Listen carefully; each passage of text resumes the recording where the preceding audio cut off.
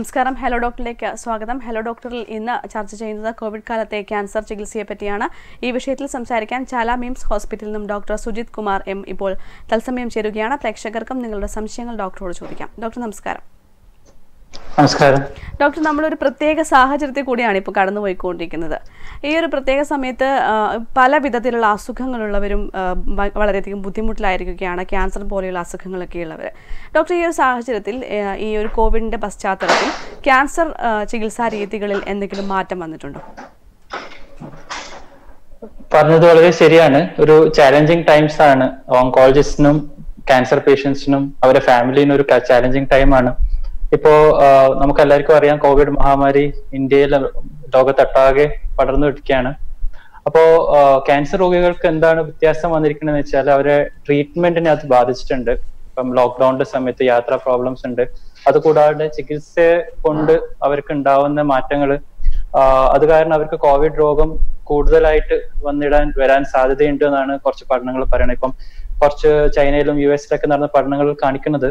ബാക്കി general population സാധാരണ ഒരു ജനത്തെ സംബന്ധിച്ച് നോക്കുമ്പോൾ ക്യാൻസർ പേഷ്യൻസിന് കൂടുതൽ ഒരു ഒരു നമ്മൾ ഇൻസിഡൻസ് പറഞ്ഞു കഴിഞ്ഞാൽ ഒരു പോയിന്റ് ഫോർ ആണ് ഫോർ പെർസെന്റേജ് ആണ് ജനറൽ പബ്ലിക്കിന്റെ ഒരു ഇൻസിഡൻസ് എങ്കിൽ അത് ക്യാൻസർ പേഷ്യൻസിന് പോയിന്റ് എന്ന് വെച്ചാൽ നേരെ ഡബിൾ ചാൻസസ് ഉണ്ട്. അതിന്റെ കാരണം എന്താ വെച്ചാൽ ക്യാൻസർ പേഷ്യൻസിന് പൊതുവേ ഒരു ഇമ്മ്യൂണിറ്റിയുടെ പ്രോബ്ലംസ് ഉണ്ടാവാറുണ്ട്. അവരെ രോഗപ്രതിരോധ ശക്തി കുറവായിരിക്കാം. അവരെ സ്റ്റേജ് കൂടി. പ്രത്യേകിച്ചും കാണപ്പെടുന്നത് കൂടിയ stage stage three stage four പേഷ്യൻസിന് ഇമ്മ്യൂ രോഗ പ്രതിരോധ ശക്തി കുറവായിരിക്കും. പിന്നെ അവർക്ക് കീമോതെറാപ്പി അല്ലെങ്കിൽ ഇമ്മ്യൂണോതെറാപ്പി കിട്ടുന്നുണ്ടെങ്കിൽ അതിലും അവർക്ക് ഇമ്മ്യൂണിറ്റി കുറവായിരിക്കും. അപ്പൊ അവർക്ക് ബാക്കിയുള്ളവരെക്കാൾ കോവിഡ് രോഗം അല്ലെങ്കിൽ കൊറോണയുടെ ഇൻഫെക്ഷൻ ഉണ്ടാവാനുള്ള ചാൻസ് കൂടുതലാണ്. മരണനിരക്കും അതൊരു വളരെ സാഹചര്യമാണ്. കൂടുതലാണെന്ന് ഡോക്ടർ രണ്ടാമത്തത് അല്ലെ? മരണനിരക്കും വളരെ വളരെയധികം. കൂടുതലാണെന്ന് തോന്നുന്നു അല്ലെ? അതെ വളരെ ശരിയാണ്. മരണനിരക്കും കണ്ടിരിക്കുന്നത് മറ്റ് പേഷ്യൻസിനെ അനുബന്ധിച്ച് കുറച്ച് കൂടുതലായിട്ട് തന്നെയാണ് ക്യാൻസർ പേഷ്യൻസിന് കാണുന്നത്. പക്ഷെ അതിലൊരു കാര്യമുണ്ട്. ആ, ക്യാൻസർ പേഷ്യൻസിൽ തന്നെ എസ്പെഷ്യലി നമ്മൾ ഈ അറുപത്തഞ്ച് വയസ്സിന് മുകളിലുള്ളവർക്ക് ഡയബറ്റീസ് ഹൈപ്പർ ടെൻഷൻ അല്ലെങ്കിൽ ക്രോണിക് പൾമണറി ഡിസീസ് ഒക്കെ ഉള്ളവർക്കാണ് കൂടുതൽ ചാൻസ് അല്ലാതെ എല്ലാ ക്യാൻസർ യങ് ആയിട്ട് ഒരു ക്യാൻസർ പേഷ്യന് കൂടുതൽ ചാൻസ് ഉണ്ട് എന്നല്ല ആ ഒരു സിക്സ്റ്റി ഫൈവ് ആൻഡ് അബവ് ആ പേഷ്യൻസിന് കൂടുതലായിട്ട് മോർട്ടാലിറ്റി റേറ്റ്സ് ഏകദേശം നമ്മൾ സ്റ്റാറ്റിസ്റ്റിക്സ് പറയുന്നത് ബാക്കി നോർമൽ ആയിട്ടൊരു ആൾക്കാരൊക്കെ ഡബിൾ ഇരട്ടിയിൽ അധികം ചാൻസസ് ഉണ്ട് എന്ന് പറയണു മോർട്ടാലിറ്റിയുടെ അതും എല്ലാ പഠനങ്ങളിലും അങ്ങനെ കണ്ടിട്ടില്ലെങ്കിലും ഒന്ന് രണ്ട് പഠനങ്ങൾ അവർ വ്യക്തമായിട്ട് പറയുന്നുണ്ട് മോർട്ടാലിറ്റി റിസ്ക് ഹൈ ആണ് ക്യാൻസർ പേഷ്യൻസിന് ഡോക്ടർ ഈ ഒരു കോവിഡ് സമയത്ത് കോവിഡ് വന്നത് ഓക്കെ ഡോക്ടർ തുടർന്നോളൂ ആ ആ അത് തന്നെ കോവിഡ് ബാധിച്ച് ക്യാൻസർ പേഷ്യൻസിന് മറ്റുള്ളവരെക്കാൾ കൂടുതൽ മോർട്ടാലിറ്റി റിസ്ക് ഉണ്ട്. അതുകൊണ്ട് തന്നെ അവരെ ട്രീറ്റ്മെന്റിന്റെ സമയത്ത് വളരെയധികം ശ്രദ്ധിക്കേണ്ടിയിരിക്കുന്നു. ഡോക്ടർ അതേപോലെ ഈ ഒരു സമയത്ത് ഈ ക്യാൻസർ പേഷ്യൻസ് എന്തൊക്കെ മുൻകരുതലുകൾ എടുക്കണം? എന്തൊക്കെ ശ്രദ്ധിക്കണം അവർ? അതെ. നമ്മളിപ്പോൾ ഓങ്കോളജിസ്റ്റുകൾ നമ്മൾ എല്ലാ സൊസൈറ്റികളും നാഷണൽ ബോഡീസും ഗൈഡ് ലൈൻസ് കൊണ്ടുവന്നിട്ടുണ്ട്. ഗൈഡ് ലൈൻസ് എന്താ തീരുമാനിച്ചിരിക്കണെന്ന് വെച്ചാൽ നമ്മൾ cancer പേഷ്യൻസിനെ high risk moderate risk low risk എന്ന കാറ്റഗറിയിലേക്ക് ഡിവൈഡ് ചെയ്യുന്നുണ്ട്.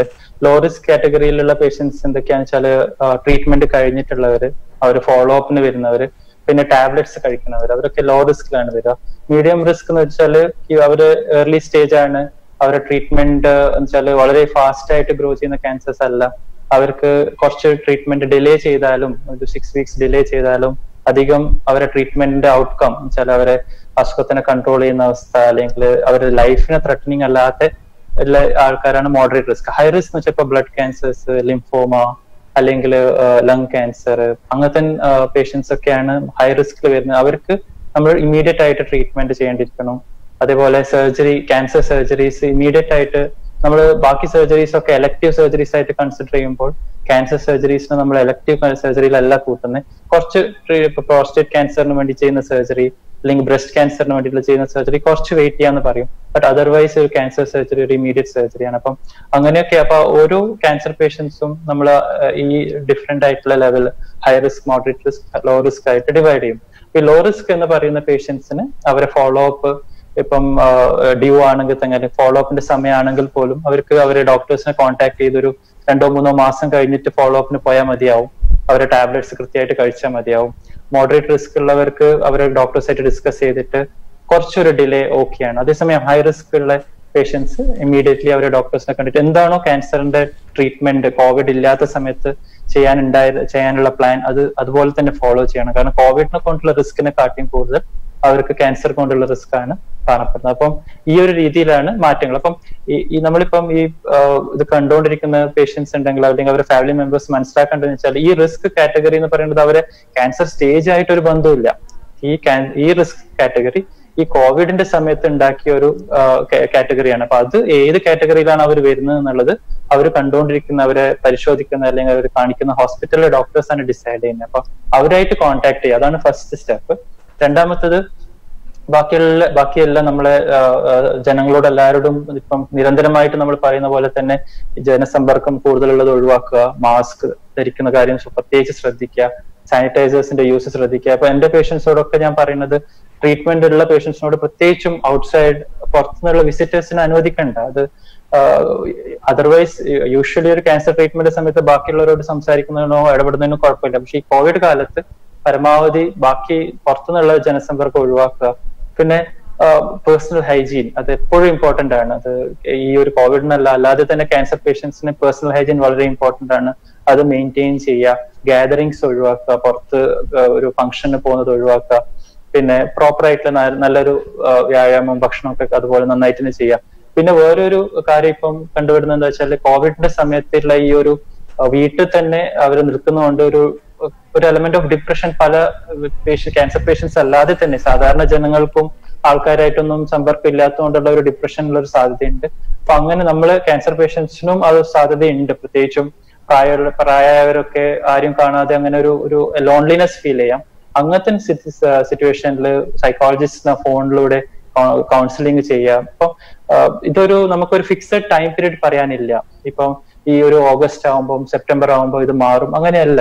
നമുക്ക് അറിയില്ല ബേസിക്കലി എപ്പോഴാണ് അത് നമുക്ക് ഇതിൽ നിന്നും ഒരു ഒരു മോചനം കിട്ടുമെന്ന് അപ്പം നമ്മൾ ചിന്തിക്കേണ്ടത് എന്താ വെച്ചാൽ ഈ സമയം ഇപ്പോ നമ്മുടെ ട്രീറ്റ്മെന്റ് എന്താണോ അതിന്റെ കൂടെ തന്നെ എങ്ങനെ പോസിറ്റീവായിട്ട് എങ്ങനെ കോവിഡ് അധികം നമ്മളെ ബാധിക്കാതെ മാനസികവും ശാരീരികവും നമ്മളെ ബാധിക്കാതെ എങ്ങനെ ശ്രദ്ധിക്കുക എന്നുള്ള കാര്യങ്ങളാണ് നമ്മൾ പ്രത്യേകിച്ച് ചെയ്യേണ്ടത്. അപ്പോൾ പരമാവധി ട്രാവൽ ഇപ്പം ഒരേ ദൂരെ യാത്ര ചെയ്ത് ട്രീറ്റ്മെന്റ് എടുത്ത് തിരിച്ച് കണ്ണൂരേക്ക് വരുന്നവരൊക്കെ ഉണ്ട്. അപ്പം അവർ പരമാവധി അവരെ ഡോക്ടേഴ്സായിട്ട് ഡിസ്കസ് ചെയ്ത് അവരെ ഫോളോ അപ്പ് ഡേറ്റ് ഒക്കെ കുറച്ചും കൂടി നീട്ടി വെക്കുക. അവർ പറ്റുമെങ്കിൽ ടെലിമെഡിസിൻ ചെയ്ത് മെഡിസിൻസ് ലോക്കലി വാങ്ങിയിട്ട് കഴിക്കുക. അങ്ങനെ ഒരു ട്രാവലിങ്സ് ഒക്കെ പറ്റുന്ന പരമാവധി ഒഴിവാക്കുന്നത് ഇപ്പോഴത്തെ സ്ഥിതിയിൽ ക്യാൻസർ പേഷ്യൻസിന് ചെയ്യേണ്ട കാര്യമാണ്. ഡോക്ടർ അതുപോലെ ക്യാൻസർ പേഷ്യന്റ് സാധാരണക്കാർ പോലും വളരെ ആശങ്കയിലായിരിക്കുന്ന ഒരു സമയമാണ്. അപ്പോൾ ക്യാൻസർ പേഷ്യന്റ് തീർച്ചയായും അവർക്ക് കോവിഡ് ഉണ്ടോ എന്നൊക്കെ വളരെ സംശയാലുക്കളായിരിക്കും. അങ്ങനെ ക്യാൻസർ പേഷ്യന്റ് പേഷ്യൻസിന് കോവിഡ് ടെസ്റ്റ് ചെയ്യേണ്ട ഒരു ആവശ്യകത ഇപ്പോൾ നിലനിൽക്കുന്നുണ്ടോ? നോക്കൂ അപ്പോ അഗെയിൻ നമ്മൾ ഞാൻ നേരത്തെ പറഞ്ഞു ക്യാൻസർ പേഷ്യൻസിനെ നമുക്ക് രണ്ടായിട്ട് ഡിവൈഡ് ചെയ്യാം. ഒന്ന് ഇപ്പം ട്രീറ്റ്മെന്റ് എന്തായാലും ആവശ്യമുണ്ട് എന്നുള്ള രീതിയിൽ ക്യാൻസർ ഈയിടെ കണ്ടുപിടിച്ചു അല്ലെങ്കിൽ ടെസ്റ്റുകളൊക്കെ കഴിഞ്ഞിട്ട് ക്യാൻസർ ആണെന്ന് സ്ഥിരീകരിച്ചു അങ്ങനെയുള്ള വിഭാഗം അല്ലെങ്കിൽ ക്യാൻസർ ട്രീറ്റ്മെന്റ് നടന്നുകൊണ്ടിരിക്കുന്ന കുറച്ച് പേഷ്യൻസ് ഉണ്ടാവും കുറെ പേഷ്യൻസ് ഉണ്ടാവും ക്യാൻസർ ട്രീറ്റ്മെന്റ് നടന്നുകൊണ്ടിരിക്കുന്ന ആ വിഭാഗം. അല്ലെങ്കിൽ ക്യാൻസർ സർജറി പ്ലാൻ ചെയ്തിരിക്കണോ അല്ലെങ്കിൽ റേഡിയേഷൻ നടന്നുകൊണ്ടിരിക്കുന്നു. അങ്ങനെയുള്ള പേഷ്യൻസ് ഉണ്ടാവും. അതല്ലാതെ രണ്ടാമത്തെ കാറ്റഗറി എന്ന് പറഞ്ഞാൽ ട്രീറ്റ്മെന്റ് കഴിഞ്ഞിട്ടുള്ള ഫോളോ അപ്പ് അപ്പൊ ഈ രണ്ടാമത്തെ കാറ്റഗറി ഡെഫിനറ്റ്ലി യാതൊരു കാരണവശാലും ഹോസ്പിറ്റലിൽ പോവാതെ ഇരിക്കുക വീട്ടിൽ തന്നെ റെസ്റ്റ് എടുക്കുക ബാക്കി ഫോണിലൂടെ കാര്യങ്ങൾ മെഡിസിൻസ് ഉണ്ടാവും അതൊക്കെ കണ്ടിന്യൂ ചെയ്യാം. ഏറ്റവും ഇപ്പം ഏറ്റവും ബുദ്ധിമുട്ടുണ്ടായിക്കൊണ്ടിരിക്കുന്നത് ക്യാൻസറിന്റെ ചികിത്സ നടന്നുകൊണ്ടിരിക്കുന്ന കുറച്ച് രോഗികളുണ്ട്. അല്ലെങ്കിൽ ക്യാൻസർ ഇപ്പൊ കണ്ടുപിടിച്ചു ഇപ്പൊ ക്യാൻസറിന്റെ ഡയഗ്നോസിസ് നടന്നുകൊണ്ടിരിക്കുകയാണ്. പലർക്കും ഇപ്പോഴാണ് അതാണ് അസുഖം ഇതാണെന്നൊക്കെ അറിയണേ. അപ്പൊ അവരെ കാര്യം എന്താണ് ചെയ്യേണ്ടത്? അപ്പം നമ്മളത് ഏത് ട്രീറ്റ്മെന്റ് ആണ് അവർ ചെയ്യുന്നത് അതനുസരിച്ചിരിക്കും ആ കോവിഡ് ടെസ്റ്റിംഗിൽ അപ്പം സർജറിയുടെ കാര്യത്തിൽ ഇത് ഗൈഡ് ലൈൻസ് ആണ്. അത് നമ്മളെ പോളിസിയാണ് ഏതൊരു പേഷ്യന്റും ക്യാൻസർ സർജറി ചെയ്യുന്നതിന് മുമ്പ് അവർ സിംറ്റംസ് ഉണ്ടെങ്കിലും ഇല്ലെങ്കിലും അവർ നമ്മൾ കോവിഡ് ടെസ്റ്റിംഗ് ചെയ്യുന്നുണ്ട്. കോവിഡ് ടെസ്റ്റിംഗ് നെഗറ്റീവ് ആയതിനു ശേഷം മാത്രമേ അവർ ക്യാൻസർ സർജറിക്ക് പേഷ്യൻസിനെ എടുക്കുകയുള്ളൂ അതിന്റെ റീസൺ എന്താണെന്ന് വെച്ചാൽ പഠനങ്ങൾ കാണിക്കുന്നത് ക്യാൻസർ സർജറീസ് കോവിഡ് ഉള്ള പേഷ്യൻ സപ്പോസ് ഒരു പേഷ്യന്റിന് ക്യാൻസർ സർജറി കഴിഞ്ഞു. ആ പേഷ്യന്റിന് കോവിഡ് ബാധിച്ചാൽ അവർ നേരത്തെ ഞാൻ സംസാരിച്ച പോലെ ഐ സി യു അഡ്മിഷൻസും ഹോസ്പിറ്റൽ കഴിഞ്ഞിട്ട് സർജറിയുടെ കോംപ്ലിക്കേഷൻസ് കൂടുതലാണ്. കോവിഡ് ക്യാൻസർ സർജറി കഴിഞ്ഞ പേഷ്യൻസിന് കോവിഡ് വന്നാൽ. അതുകൊണ്ട് അത് we have to be hundred percent sure അവർക്ക് കോവിഡ് ഇല്ല. അതിനുശേഷം അവർ സർജറിയിൽ എലക്റ്റീവ് ആയാലും എമർജൻസി ആയാലും ഇപ്പൊ അങ്ങനെയാണ് ചെയ്യുന്നത്. രണ്ടാമത് കീമോതെറാപ്പി. കുറെ നമ്മൾ ഇപ്പം അങ്ങനെ ഒരു റൂൾ അല്ലെങ്കിൽ ഒരു ഗൈഡ് ലൈൻ വന്നിട്ടില്ല ക്യാൻസർ പേഷ്യൻസിന്. എല്ലാ ക്യാൻസർ പേഷ്യൻസിനും കീമോതെറാപ്പിക്ക് മുന്നേ കോവിഡ് ടെസ്റ്റ് ചെയ്യണം എന്നുള്ള ഒരു റൂൾ അങ്ങനെ വന്നാൽ തന്നെ അത് പ്രാക്ടിക്കലി പോസിബിൾ അല്ല. പേഷ്യൻസ് അത് അഫോർഡ് ചെയ്യാനും ബുദ്ധിമുട്ടാണ്. അതിന് ലീഗൽ ആയിട്ടുള്ള ഒരുപാട് പ്രോബ്ലംസും ഉണ്ട്. എല്ലാ പേഷ്യൻസിനും കീമോന് മുന്നേ കോവിഡ് ചെയ്യണം എന്ന് പറഞ്ഞാൽ ഇതൊരു കീമോ എന്ന് പറയുമ്പോൾ ആഴ്ച തോറും ചെയ്യാം രണ്ടാഴ്ച തോറും മൂന്നാഴ്ച. അപ്പൊ എല്ലാ പ്രാവശ്യവും കോവിഡ് ടെസ്റ്റ് ചെയ്യാന്നുള്ളത് പോസിബിൾ അല്ല. അതേസമയം ഈ ക്യാൻസർ പേഷ്യൻസ് ആണെങ്കിൽ തന്നെ നമ്മളിപ്പോ എന്റെ അടുത്ത് വരുന്ന പേഷ്യൻസ് ആണെങ്കിൽ അവർക്ക് സിംറ്റംസ് ഉണ്ടോ എന്നുള്ളത് പ്രോപ്പർ ആയിട്ട് ഹോസ്പിറ്റലിൽ വരുന്നതിന് മുമ്പ് തന്നെ അവർ സ്ക്രീൻ ചെയ്ത് ഫീവർ ഉണ്ടോന്നും അവർ ഹിസ്റ്ററി എടുത്ത് അവർക്ക് കോൺടാക്ട് ഉണ്ടോ എന്നൊക്കെ നോക്കി ആ ഹൈ റിസ്കിൽ അവർ വരുന്നില്ലെങ്കിൽ മാത്രമേ അവർ ക്യാൻസർ ഒ പി ഡിയിലേക്ക് വരുന്നുള്ളൂ. അതേസമയം അവർക്ക് പനിയുണ്ട് തൊണ്ടവേദനയുണ്ട് ശ്വാസമുട്ടൽ അങ്ങനെയൊക്കെ ഉണ്ടെങ്കിൽ അവർ നേരെ ആ ഹോസ്പിറ്റലിൽ നമ്മുടെ ഹോസ്പിറ്റലിലെ ഫീവർ ക്ലിനിക്കിലേക്കാണ് പോകുന്നത് അതേ സംവിധാനം പല ഹോസ്പിറ്റലിലും ഉണ്ട്. വെച്ചാൽ ആ പേഷ്യൻസ് ഒരിക്കലും നോർമൽ ആയിട്ടുള്ള ക്യാൻസർ പേഷ്യൻസ് ആയിട്ട് മിക്സപ്പ് ആവരുത്. കാരണം ദേ ആർ അറ്റ് റിസ്ക് അപ്പം. അതുകൊണ്ട് അങ്ങനെ ഹോസ്പിറ്റൽ എൻട്രൻസിൽ തന്നെ അവരെ ഹിസ്റ്ററിയും അവരെ എക്സാമിനേഷൻ ചെയ്ത് ഫീവർ ഇല്ല എന്ന് ഉറപ്പുവരുത്തിയതിനു ശേഷം മാത്രമേ അവർ കീമോയുടെ ഒപ്പിയിലേക്ക് വരുന്നുള്ളൂ. ഇപ്പൊ സപ്പോസ് ഒരു പേഷ്യന്റ് കീമോതെറാപ്പി കിട്ടി എന്നിട്ട് പനി വന്നു ഹോസ്പിറ്റലിലേക്ക് അഡ്മിറ്റ് ആവണു. ഇപ്പോഴത്തെ ഈ മഹാമാരിയുടെ സാഹചര്യത്തിൽ ഡെഫിനറ്റ്ലി ഈ പേഷ്യൻസിന് കോവിഡ് ടെസ്റ്റിംഗ് ചെയ്യുന്നതാണ്.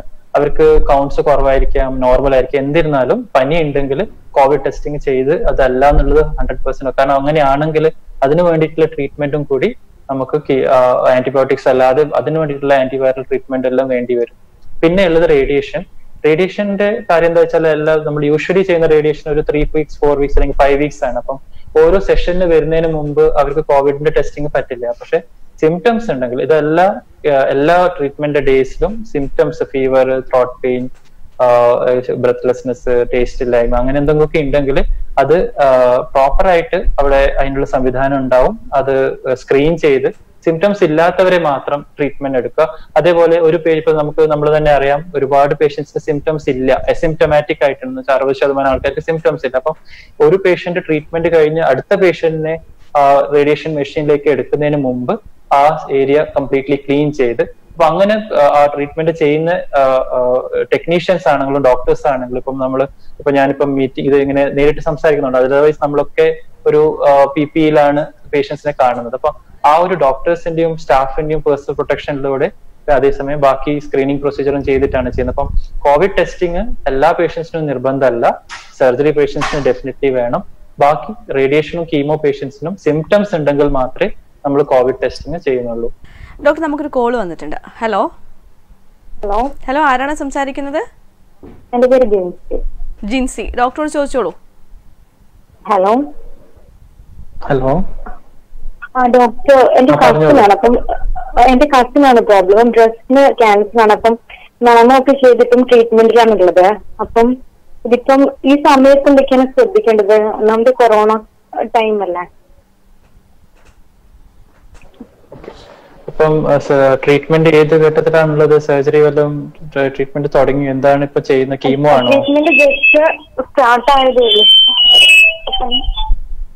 ഓക്കെ ഇപ്പൊ നോക്കൂ ഇപ്പം ബ്രസ്റ്റ് ക്യാൻസറിന് ഇപ്പൊ ഏത് സ്റ്റേജ് ആണ് അതൊക്കെ അനുസരിച്ചാണ് ട്രീറ്റ്മെന്റ് സപ്പോസ് പേഷ്യന്റ് ഇപ്പോ കീമോതെറാപ്പിയിലാണെങ്കിൽ നമ്മൾ കുറച്ച് സ്റ്റാൻഡേർഡ് ആയിട്ടുള്ള കുറച്ച് കാര്യങ്ങൾ നമ്മൾ ശ്രദ്ധിക്കാനുണ്ട്. അതിൽ ഏറ്റവും പ്രധാനം ഇപ്പൊ ഈ കോവിഡ് കാലത്ത് ഏറ്റവും പ്രധാനം എന്ന് പറയുന്നത് നമ്മൾ വീട്ടിൽ ട്രീറ്റ്മെന്റ് സമയത്ത് ഹോസ്പിറ്റലിൽ പോവുക ട്രീറ്റ്മെന്റ് എടുക്കുക തിരിച്ചു വരിക അതല്ലാതെ വീട്ടിൽ സന്ദർശകർ തീരെ വേണ്ട. നമ്മൾ ഫാമിലി മെമ്പേഴ്സ് ഈസ് ഓക്കെ പക്ഷെ അതല്ലാതെ സന്ദർശകർ ഒഴിവാക്കുക. പിന്നെ കീമോതെറാപ്പി ചെയ്യുമ്പോൾ കുറച്ച് കാര്യങ്ങൾ ശ്രദ്ധിക്കാനുണ്ട്. പ്രത്യേകിച്ചും ഭക്ഷണത്തിന്റെ കാര്യത്തിൽ ഹൈജീനിക് ആയിട്ടുള്ള ഭക്ഷണം അങ്ങനെ വെജിറ്റേറിയൻ നോൺ വെജിറ്റേറിയൻ അങ്ങനെ ഒരു കാര്യമില്ല. പക്ഷെ ഹൈജീനിക് ആയിരിക്കണം ഭക്ഷണം. അത് ശ്രദ്ധിക്കുക. പിന്നെ പേഴ്സണൽ ഹൈജീൻ ശ്രദ്ധിക്കുക. പിന്നെ ഡോക്ടേഴ്സ് ഇപ്പൊ ആര് എവിടെയാണോ ട്രീറ്റ്മെന്റ് എടുക്കുന്നത് അവർ കുറച്ച് വാർണിംഗ് സൈൻസ് ഉണ്ട്. ഇപ്പൊ കീമോതെറാപ്പി ആണെങ്കിൽ പനി ലൂസ് മോഷൻസ് ഉണ്ടാവുക അല്ലെങ്കിൽ നന്നായിട്ട് വോമിറ്റിംഗ് വരിക അല്ലെങ്കിൽ വീക്ക്നെസ് ഉണ്ടാവുക. എല്ലാവർക്കും ഉണ്ടാവണമെന്നില്ല. പക്ഷെ അങ്ങനെ ഉണ്ടാവുകയാണെങ്കിൽ ഹോസ്പിറ്റലിൽ നിന്ന് ഒരു കോൺടാക്ട് നമ്പർ തന്നിട്ടുണ്ടാവും. അവിടെ വിളിച്ച് അവരെ അറിയിക്കുക ടൈം പറ്റുമെന്ന് വെച്ചാൽ കൗണ്ട് കുറയാനുള്ള ചാൻസസ് ഉണ്ട്. കുറച്ച് കീമോതെറാപ്പിയിൽ അപ്പം അങ്ങനെ പനിയൊക്കെ ഉണ്ടെങ്കിൽ കൗണ്ട് ടെസ്റ്റ് ചെയ്തിട്ട് ഡോക്ടേഴ്സിനെ കോൺടാക്ട് ചെയ്യേണ്ടി വരും. അപ്പൊ അത് ശ്രദ്ധിക്കുക അപ്പൊ ഫീവർ സാധാരണ തോതിൽ ഒരു ഇപ്പോഴത്തെ കാലത്ത് ഒരു വൈറൽ ഫീവർ വന്നാൽ പാരസ്റ്റമോൾ കഴിക്കുക എന്നുള്ള പോലെ അല്ല. കീമോതെറാപ്പി ചെയ്ത് കഴിഞ്ഞതിന് ശേഷം വരുന്ന ഫീവർ അത് ഇനീഷ്യൽ സിംറ്റം ആണ്. അത് നമ്മൾ പാരസ്റ്റമോൾ കഴിച്ചിട്ട് നമ്മളത് മാനേജ് ചെയ്യാൻ നോക്കിയാൽ അത് വല്ലാതെ ഇൻഫെക്ഷൻ ആവും. സെപ്സിസ് എന്ന് പറയുന്ന ലെവലിലേക്ക് കാര്യങ്ങൾ പോവാം. അപ്പം ഫീവർ വരുമ്പോൾ പാരസ്റ്റമോൾ ഒന്നും കഴിക്കാതെ ഡയറക്ട്ലി എന്താ പറയാ ഹോസ്പിറ്റലിൽ ഒന്ന് കോൺടാക്ട് ചെയ്യുക. അപ്പൊ ഇങ്ങനെ സിംറ്റംസ് ഒക്കെ ഒന്ന് ശ്രദ്ധിക്കുക. പിന്നെ ബ്ലഡ് ടെസ്റ്റ് ഒക്കെ ടൈമിൽ ചെയ്ത് കാര്യങ്ങളൊക്കെ ശ്രദ്ധിക്കുക. പിന്നെ ഏറ്റവും ഇമ്പോർട്ടന്റ് ഞാൻ എന്റെ പേഷ്യൻസിനോട് എപ്പോഴും പറയുന്നതൊക്കെ എന്താ വെച്ച് കഴിഞ്ഞാൽ ട്രീറ്റ്മെന്റ് സമയത്ത്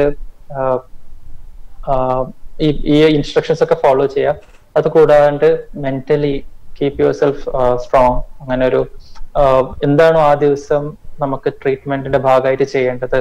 അത് ചെയ്യുക. അല്ലാതെ ഇങ്ങനെ ബാക്കിയുള്ളവരെ കാര്യങ്ങൾ അവർക്ക് ട്രീറ്റ്മെന്റ് സമയത്ത് അങ്ങനത്തെ സൈഡ് എഫക്ട് ഉണ്ടായി എനിക്കും ഉണ്ടാവോ അല്ലെങ്കിൽ അവർക്ക് ട്രീറ്റ്മെന്റ് ചെയ്തിട്ടും ഇങ്ങനെയൊക്കെ സംഭവിച്ചു എനിക്കും അങ്ങനെ ഉണ്ടാവോ അങ്ങനെയൊന്നും അല്ല. ഡോക്ടേഴ്സ് ആരാണോ നിങ്ങൾ കാണുന്നത് അവരോട് വ്യക്തമായിട്ട് ചോദിച്ച് മനസ്സിലാക്കുക എന്താണ് സ്റ്റേജ് എന്താണ് എന്താണ് എന്റെ ട്രീറ്റ്മെന്റ് പ്ലാൻ ആ ട്രീറ്റ്മെന്റ് പ്ലാനിൽ ഉത്തരവാദിത്തത്തോടെ പങ്കെടുത്തു കഴിഞ്ഞാൽ അതിന്റെ ബെസ്റ്റ് റിസൾട്ട്സ് കിട്ടും. അപ്പം മെന്റലി അത് ഫാമിലി മെമ്പേഴ്സും ശ്രദ്ധിക്കുക. അങ്ങനെ ഒരു ട്രീറ്റ്മെന്റ് സമയത്ത് അടിച്ചിട്ട റൂമിൽ ഇരിക്കേണ്ട ആവശ്യം ഒരിക്കലും ഒരു ക്യാൻസർ പേഷ്യന്റിന് വരുന്നില്ല. എല്ലാവരും കൂടെ ഭക്ഷണം കഴിക്കാം എല്ലാവരും കൂടെ നോർമൽ ആയിട്ട് നിൽക്കാം. വീട്ടിലായിരിക്കും പനി ചുമ അങ്ങനെയൊക്കെ ഉണ്ടെങ്കിൽ അവരടുത്ത് പോവാതെ പേഷ്യന്റ് അടുത്ത് മാറി നിൽക്കുക. പിന്നെ ഈ കോവിഡ് കാലത്ത് ബാക്കി മൂന്ന് കാര്യങ്ങൾ നമ്മൾ എപ്പോഴും പറയുന്ന പോലെ അധികം സമ്പർക്കം ഒഴിവാക്കുക സാനിറ്റൈസേഴ്സും ഹാൻഡ് ഹൈജീനും ഒക്കെ പേഴ്സണൽ ഹൈജീൻ ശ്രദ്ധിക്കുക. പിന്നെ മാസ്ക് എപ്പോഴും പുറത്ത് ഹോസ്പിറ്റലിൽ പോകുമ്പോഴോ അല്ലെങ്കിൽ എന്തായാലും ആൾക്കാരായിട്ട് ഇന്ററാക്ട് ചെയ്യുമ്പോൾ മാസ്ക് ധരിക്കുക. അത് ഈ മൂന്ന് കാര്യങ്ങളൊന്ന് ശ്രദ്ധിക്കുക. ബാക്കി കീമോയുടെ കാര്യങ്ങളൊക്കെ ഡെഫിനറ്റ്ലി നമ്മൾ ട്രീറ്റ്മെന്റ് ചെയ്യുന്ന ഡോക്ടേഴ്സോടും ഡീറ്റെയിൽസ് സംസാരിച്ച് അത് ട്രീറ്റ്മെന്റ് പോസിറ്റീവായിട്ട് ചെയ്യാം. ഓക്കെ ജിൻസി ഡോക്ടർ നമുക്കൊരു കോൾ കൂടി വന്നിട്ടുണ്ട്. Hello hello. ആ ഇത് സ്നേഹയാണ് തലപ്പറമ്പെന്ന് സ്നേഹ ഡോക്ടറോട് ചോദിച്ചോളൂ. ഹലോ. ആ പറയൂ പറയൂ. ഡോക്ടർ ചിലപ്പോ നമ്മൾ ഈ കൊറോണ സമയത്ത് പുറത്തു പോകുന്നതിന് ചെറിയ ബുദ്ധിമുട്ടുള്ളതുകൊണ്ട് കീമോന്റെ ഡേറ്റ് നീട്ടിയിട്ടുണ്ടായിരുന്നു. അപ്പൊ അതുകൊണ്ട് എന്തെങ്കിലും ബുദ്ധിമുട്ടുണ്ടാവുമെന്ന് അറിയാനാണ് ഓക്കെ. അത് ഞാൻ വീണ്ടും പറയട്ടെ നമുക്ക് ട്രീറ്റ്മെന്റ് ഇപ്പൊ ക്യാൻസർ എന്ന് ഞാൻ എന്റെ പേഷ്യൻസോട് എപ്പോഴും പറയും ക്യാൻസർ എന്ന് ഒറ്റ വാക്കിൽ ഒരു ആയിരം ടൈപ്പ് അസുഖങ്ങളുണ്ട് ഒരു ആയിരം ടൈപ്പ് ട്രീറ്റ്മെന്റ് ഉണ്ട്.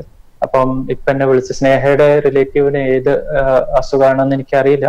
ബട്ട് ഇപ്പം ഡോക്ടർ ചികിത്സിക്കുന്ന ഡോക്ടർ കീമോയുടെ ഡേറ്റ് മുന്നോട്ടേക്ക് ആക്കാം കുഴപ്പമില്ല എന്ന് പറഞ്ഞിട്ടുണ്ടെങ്കിൽ അത് ആ ഒരു റിസ്ക്കും ബെനിഫിറ്റും ബാലൻസ് ചെയ്തിട്ട് പറഞ്ഞതായിരിക്കും. ചില ഇപ്പം യാത്ര ചെയ്ത് അവിടെ പോയി ട്രീറ്റ്മെന്റ് എടുക്കുമ്പം കോവിഡ് കിട്ടാൻ അല്ലെങ്കിൽ കൊറോണ ഇൻഫെക്ഷൻ വരാനുള്ള സാധ്യതയും പിന്നെ അങ്ങനെ ഒരു ഇൻഫെക്ഷൻ വന്നാൽ പേഷ്യന്റ് ഉണ്ടാവുന്ന ഒരു അപകട സാധ്യതയൊക്കെ മനസ്സിൽ കണ്ടിട്ടായിരിക്കണം ഡോക്ടർ കീമോതെറാപ്പിയുടെ ഡേറ്റ് നീട്ടിയത്. പക്ഷേ അതുകൊണ്ട് തന്നെ ഐ തിങ്ക് അങ്ങനെ ഒരു ഡിസിഷൻ ഡോക്ടർ പറഞ്ഞിട്ടുണ്ടെങ്കിൽ അതിൽ ഭയപ്പെടാനൊന്നും ഇല്ല. നമ്മൾ ഞാൻ നേരത്തെ പറഞ്ഞ പോലെ നമ്മൾ കീമോതെറാപ്പി തന്നെ റിസ്ക് കാറ്റഗറൈസ് ചെയ്യുന്നുണ്ട്. Low risk medium medium high അപ്പം ചിലപ്പം സ്നേഹ അവർ നിങ്ങളുടെ പേഷ്യന്റിന്റെ ലോ റിസ്കിലായിരിക്കും വരുന്നുണ്ടാവും. എമർജൻസി ആയിട്ട് കീമോതെറാപ്പി ചെയ്യേണ്ട സാധ്യതയില്ലാതെ ടാബ്ലറ്റ് കഴിച്ചാൽ മതിയാവും എന്നുള്ള സാധ്യതയായിരിക്കാം ഡോക്ടർ മനസ്സിൽ വിചാരിച്ചിട്ടുണ്ടാവും. അതുകൊണ്ടായിരിക്കും അങ്ങനെ പറഞ്ഞത്. അതുകൊണ്ട് ആ ഒരു പ്രോപ്പർ ആയിട്ട് ഡോക്ടറിന്റെ ഇൻസ്ട്രക്ഷൻ അങ്ങനെയാണെങ്കിൽ അതിൽ ഭയപ്പെടാനൊന്നുമില്ല. അവർ എപ്പോഴാണോ ഡേറ്റ് പറഞ്ഞിരിക്കണേ അത് ചെയ്യുക രണ്ടാമത്തെ ഓപ്ഷൻ എന്ന് വെച്ച് കഴിഞ്ഞാൽ ഒരുപാട് ദൂരെ യാത്ര ചെയ്തിട്ടാണ് ട്രീറ്റ്മെന്റിന് പോകേണ്ടതെങ്കിൽ ചികിത്സിക്കുന്ന ഡോക്ടറായിട്ട് ഡിസ്കസ് ചെയ്യുക അടുത്തുള്ള ഹോസ്പിറ്റലിൽ ഏതാണോ ഓങ്കോളജി സൗകര്യം ഉള്ളത് താൽക്കാലികമായിട്ട് ഉള്ള രണ്ട് മൂന്ന് സൈക്കിൾ ട്രീറ്റ്മെന്റ് അടുത്തുള്ള ഹോസ്പിറ്റലിൽ നിന്ന് ചെയ്ത് ഈ ഒരു പ്രതിസന്ധി കഴിയുമ്പോൾ അവിടെ തിരിച്ച് കോൺടാക്ട് ചെയ്യുക അതും അതും പോസിബിൾ ആണ്. അതിൽ അത് പലപ്പോഴും നമ്മൾ മെഡിക്കൽ ഓങ്കോളജി അല്ലെങ്കിൽ ഓങ്കോളജി ഡോക്ടർമാർ തമ്മിൽ അത് ഡിസ്കസ് ചെയ്യാറുണ്ട്. പലരും ഇപ്പൊ കൊച്ചിയിലും മംഗലാപുരത്തൊക്കെ ട്രീറ്റ്മെന്റ് എടുക്കുന്ന പല പേഷ്യൻസ് ഇപ്പൊ കണ്ണൂര് വന്ന് കാണിക്കുന്നുണ്ട്. അവരായി അവരുടെ ഡീറ്റെയിൽസ് അവിടുത്തെ ഡോക്ടേഴ്സ് നമ്മളായിട്ട് ഡിസ്കസ് ചെയ്യുന്നുണ്ട്. അപ്പം ആ ഒരു രീതിയിൽ ഇൻ കേസ് അങ്ങനെ അങ്ങനെ ആവശ്യമുള്ള എമർജൻസി ഉണ്ടെന്നാണെങ്കിൽ ആ രീതിയിൽ നിങ്ങൾ ഡോക്ടറായിട്ട് സംസാരിച്ചിട്ട് തീരുമാനം എടുക്കുക ഡോക്ടർ സർജറികളൊക്കെ മാറ്റി വെക്കുന്നതിനെ പറ്റി തീരുമാനമെടുക്കുമ്പോൾ ഏത് തരത്തിലുള്ള രോഗികളെ രോഗികളുടെ സർജറികളാണ് ഡോക്ടർ മാറ്റിവെക്കുക? അഥവാ ഇങ്ങനെ മാറ്റിവെക്കുമ്പോൾ അതിന് പകരമായിട്ട് എന്താണ് ചെയ്യാൻ സാധിക്കുക? അതെ നമ്മളിപ്പോ സാധാരണ പേഷ്യൻസ് വന്നിട്ട് സംസാരിക്ക ചോദിക്കുമ്പോൾ നമ്മൾ ഏതൊരു തടിപ്പ് അല്ലെങ്കിൽ ഒരു ട്യൂമറും നമ്മൾ രണ്ട് രണ്ട് രീതിയിലാണ് അതിനെ ഡിവൈഡ് ചെയ്യുക. ബിനൈൻ മാലിഗ്നൻ അപ്പൊ മാലിഗ്നൻ എന്ന് പറയുന്നതാണ് സാധാരണ ക്യാൻസർ മുഴകൾ എന്ന് പറയുന്നത്. ബിനൈൻ ആയിട്ടുള്ള മുഴകൾ ഉണ്ടാവാം ശരീരത്തിൽ. ഇപ്പം ബ്രസ്റ്റ് ആണെങ്കിൽ ഫൈബ്രോയിഡിനോമ അതേപോലെ സ്കിന്നിലാണെങ്കിൽ ഇനീഷ്യൽ ആയിട്ടുള്ള ഒരു ബിനൈൻ ആയിട്ടുള്ള ലീഷൻസ് ഉണ്ടാവാം. അങ്ങനത്തെ സർജറീസ് ഒക്കെ നമുക്ക് ഡിലേ ചെയ്യാന്നാണ് പറയുന്നത്. ഇപ്പം അപ്പം സപ്പോസ് ഒരു പേഷ്യന്റിന് പ്രോസ്റ്റേറ്റ് ഇപ്പൊ ക്യാൻസറിൽ തന്നെ പ്രോസ്റ്റേറ്റ് ക്യാൻസറിന് ചെയ്യുന്ന സർജറീസ് നമുക്ക് ഡിലേ ചെയ്യാന്ന് പറയും. അതിന് പകരം അത് അത് അസുഖം കൂടാതിരിക്കാൻ ഹോർമോണൽ ട്രീറ്റ്മെന്റ് പ്രോസ്റ്റേറ്റ് കൊടുക്കാറുണ്ട് നമ്മൾ ആൻഡ്രോജൻ ഡിപ്രഷൻ തെറാപ്പി എന്ന് പറയും. അപ്പൊ അങ്ങനെ ഇഞ്ചെക്ഷൻസ് ഉണ്ട് അല്ലെങ്കിൽ ടാബ്ലറ്റ് ഉണ്ട്. അതേപോലെ ബ്രസ്റ്റ് ക്യാൻസറിന് കീമോതെറാപ്പി സർജറിക്ക് മുന്നേ നമുക്ക് കീമോതെറാപ്പി കൊടുത്ത് അസുഖത്തെ കൺട്രോൾ ചെയ്ത് അല്ലെങ്കിൽ അസുഖത്തെ ചുരുക്കിയിട്ട് പിന്നീട് സർജറി ചെയ്യാന്നുള്ള കണ്ടീഷൻ സ്റ്റാൻഡേർഡ് ആയിട്ട് നമ്മൾ ചെയ്യാറുണ്ട്. അപ്പൊ അതും ഒരു ഓപ്ഷനാണ് ബ്രസ്റ്റ് ക്യാൻസർ പേഷ്യൻസിന് സർജറി ഡിലേ ചെയ്യാൻ.